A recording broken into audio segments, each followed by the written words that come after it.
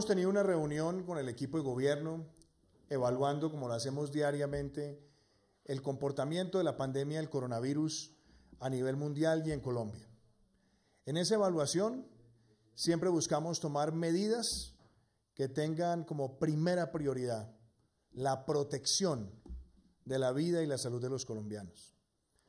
Es en ese sentido que nosotros tenemos que darnos cuenta siempre, todos, que estamos ante una pandemia global, una pandemia que se expande y como todas las pandemias tiene ciclos de propagación.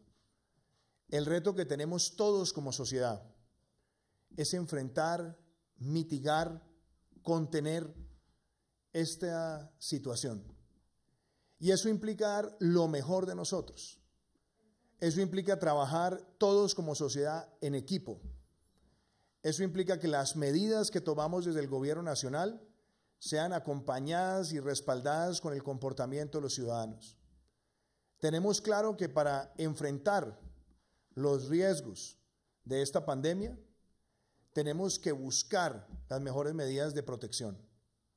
Por eso, hemos discutido hoy medidas relacionadas con la protección de la familia, de la sociedad y por supuesto también de los niños y de los jóvenes. Y evitar también que los jóvenes y que los niños sean factores de propagación del virus. Por eso, nosotros hoy, con el ministro Fernando Ruiz y con el equipo de gobierno, hemos tomado decisiones relacionadas con el sistema educativo y con el sistema de educación universitaria y hemos tomado decisiones también relacionadas con la atención de la primera infancia. Esas decisiones las queremos compartir pero tienen una premisa, que a partir de mañana los niños y los jóvenes puedan estar en sus hogares en aislamiento preventivo, con el apoyo de las familias. Las decisiones que se toman no es para que los niños y los jóvenes salgan tranquilamente a circular en entornos distintos al entorno educativo, sino también para que ellos y las familias Traten de aislarse preventivamente en sus hogares, de tal manera que no sean factores de propagación del coronavirus. Por eso la invitación que yo les hago es a que estas decisiones sean acompañadas por todos, como nación, como un equipo de país, porque eso va a determinar que en nuestro país podamos evitar y prevenir efectos negativos dolorosos. Hemos tomado estas decisiones oportunamente y las tomamos basados en un análisis riguroso. Ayer nos reunimos con alcaldes y con gobernadores y dimos un mensaje de todos trabajar en equipo. Pero la otra gran parte del equipo son todos los colombianos, en sus casas y con sus comportamientos. Por eso, las medidas que le voy a pedir al equipo de gobierno detallar están orientadas a que mañana, a partir de mañana, los niños y los jóvenes van a sus casas, que se aíslen preventivamente y que también puedan mantener su vocación de aprendizaje.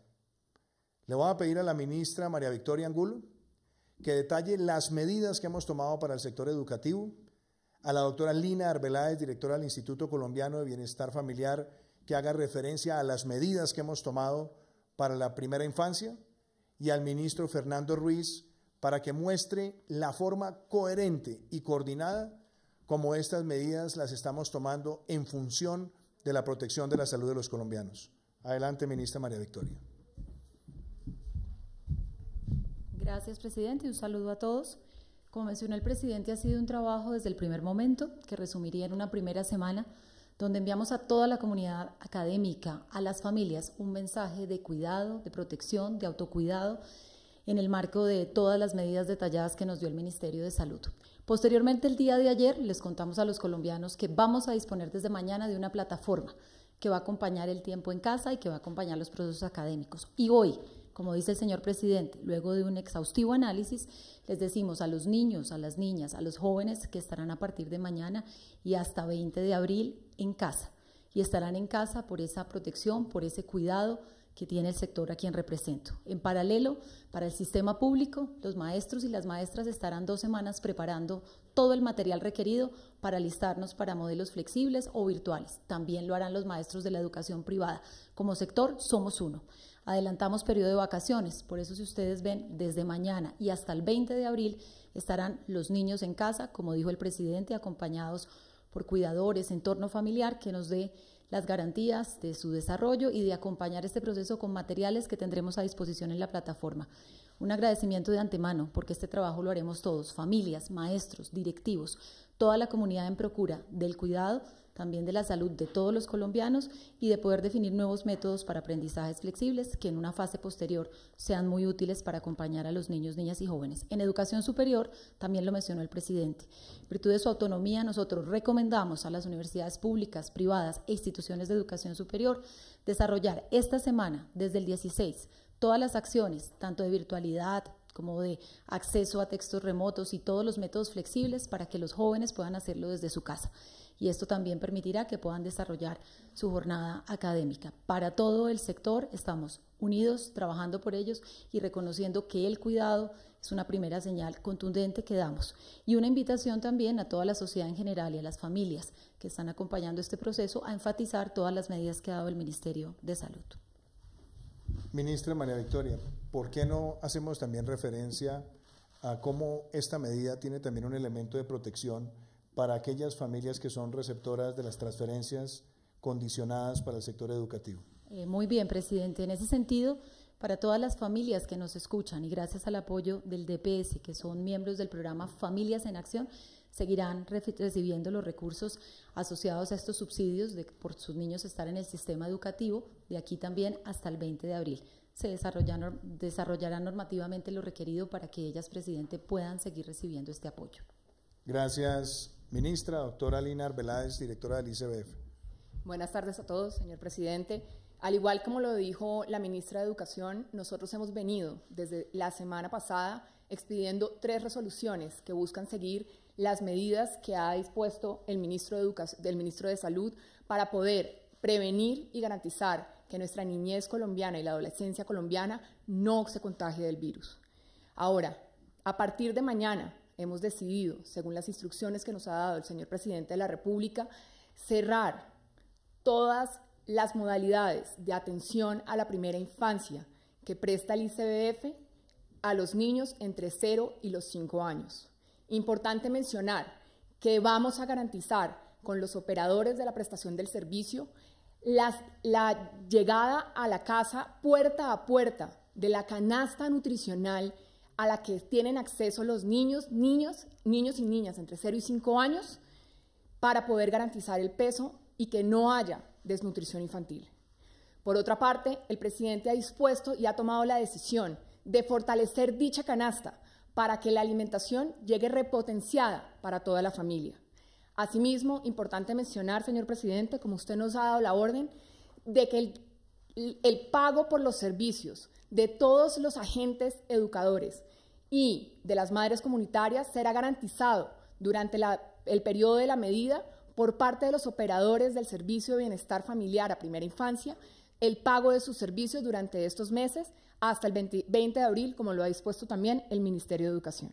Yo quisiera, doctora Lina, que usted también precise esa decisión que hemos tomado de mantenerle el pago también a las madres tiene también una justificación desde el punto de vista de salud con respecto a la línea etaria de esas personas, a las edades de esas madres. ¿Por qué no menciona eso? Sí, señor presidente. Tenemos y somos conscientes que hay más de 15 mil madres mayores de 60 años, las cuales se les garantizará sus pagos y además se llegará mediante nuestros servicios de UAS, las unidades de búsqueda activa, que su estado de salud esté en perfectas condiciones. Muchísimas gracias, doctora Lina. Ministro Fernando Ruiz hagamos una referencia a la coherencia desde el punto de vista de salud de estas medidas que hemos tomado el día de hoy en materia de educación y en materia de protección a la primera infancia. Gracias, presidente. Estas medidas se operan fundamentalmente bajo el principio de precaución, en el cual buscamos proteger del más mínimo riesgo nuestras poblaciones más sensibles, más importantes y que seguirá indudablemente con acciones sobre otros grupos poblacionales en el país. Lo que buscamos esencialmente es proteger a nuestros niños, a esa a esa población de, en un momento anticipatorio en el que todavía no tenemos circulación del virus eh, de manera autónoma, en el que todavía podemos asegurar que tengamos el menor número de niños y jóvenes afectados por la viremia.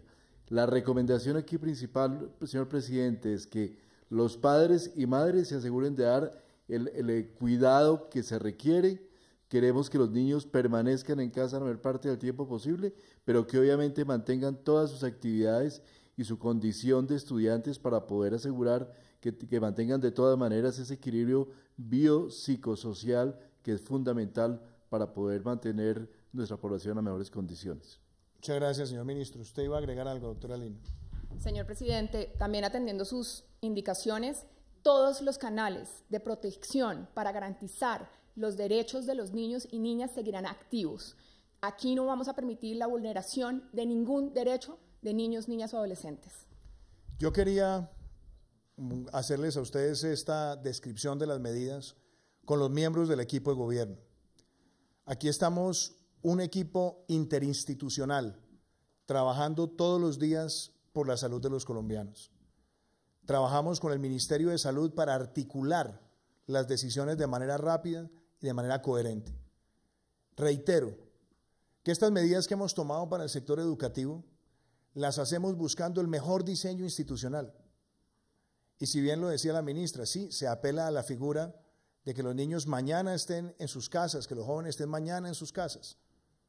Y apelamos a esa figura de anticipo de vacaciones escolares, pero reitero, no para que los niños y los jóvenes estén en actividades de vacaciones, sino para que estén en un periodo de aislamiento voluntario en sus hogares. Y por eso la colaboración de todos es importantísima. Nosotros tomamos las medidas y necesitamos también que la sociedad colabore y contribuya, porque aquí se trata de la protección colectiva y del trabajo y la inteligencia de toda una sociedad unida para protegernos. El papel de las madres, de los padres, el papel de los profesores, el papel de los directivos académicos, el papel de los funcionarios es fundamental. Este es un llamado que hacemos a la sociedad colombiana. Estamos trabajando todos de manera eh, fuerte, con esa berraquera que nos caracteriza como sociedad. Y tenemos que sacar lo mejor de nosotros. Aquí no hay espacio para divisiones, aquí no hay espacio para discusiones políticas. Aquí estamos todos trabajando por la salud de los colombianos. Y todos tenemos que recordar nuestras responsabilidades todos los días. Los hábitos. Lavarnos las manos todos los días cuantas veces sea necesario, con agua y jabón. Evitar tocarnos la cara con las manos. Mantener las líneas de distanciamiento.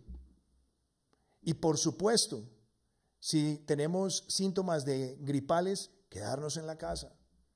Si tenemos un familiar con síntomas gripales, pedirle al familiar que en la casa use el tapabocas y si nos vamos a aproximar a él, usar el tapabocas. Cambiar los hábitos de saludo, sin abrazos, sin besos, sin chocar el cuerpo, sin chocar las manos. Y eso nos ayuda a prevenir como sociedad. Ahora tomamos estas decisiones para que a partir de mañana los niños y jóvenes estén en sus casas ¿Qué necesitamos? Que ellos colaboren. Sabemos que eso seguramente traerá incomodidades. Y quizás muchos tendrán siempre la presión o la tentación de salir de manera permanente al espacio público o de estar afuera de sus casas. Hoy necesitamos también lo mejor de ellos, de su disciplina, porque es para proteger a la sociedad colombiana. Y necesitamos también lo mejor de los padres. Todos en nuestra pedagogía como padres, transmitirle eso a nuestros hijos. También creo que las medidas que se han tomado de protección para la primera infancia son muy importantes, donde no solamente estamos protegiendo a los niños y evitando que sean factores de propagación, sino que también estamos protegiendo a esas madres comunitarias que son mayores de edad o mayores de 60 años, que es una población que es vulnerable a este virus. Creo que estas medidas muestran, hay anticipación, sí, y nos permiten a todos ir sumando esfuerzos. Como les digo, esta es una pandemia global. Y lo que tenemos todos es que reducirle la velocidad de propagación y protegernos todos como país. Lo tenemos que hacer con esa inteligencia colectiva, con ese trabajo activo de todos, con ese unir esfuerzos y entender como sociedad que aquí hay solamente un equipo y es el equipo de un país entero tomando las medidas, las que son de carácter institucional y las que debemos tener cada uno de nosotros en nuestras familias. Yo estaré comunicándome permanentemente con ustedes, con el equipo de gobierno, sobre todas las medidas, pero reitero que no dejaremos de tomar ninguna decisión que sea necesaria para la protección de la salud de todos los colombianos. Muchísimas gracias.